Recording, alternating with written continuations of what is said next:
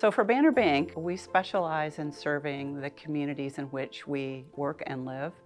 And what I mean by that is we're, we're not just a commercial bank, we're not just a retail bank. We serve the, the, the, broad needs of the communities in which we operate. But digital is a critically important piece of that. Uh, over the last 20 years, there have been uh, amazing changes in technology. And quite frankly, even in the last five years have been amazing changes in our clients' expectations of how they meet us.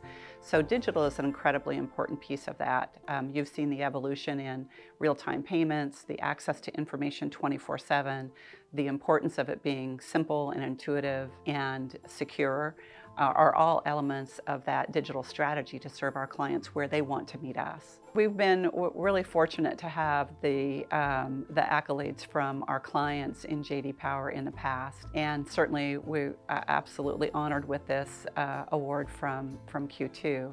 Um, we've had other accolades in the industry as well, which really speak to our strength and the trust that the industry places in us. We've been on the Forbes 100 Best Banks in America for seven years in a row. We've been on the Forbes World's Best Banks for three years in a row. We're a 10-year, five-star rating with Bauer Financial that really speaks to our financial strength. And just recently, last month, uh, Newsweek's most trustworthy companies in America, Banner was named on their list. Q2 is one of the most important strategic partnerships that we have at the company.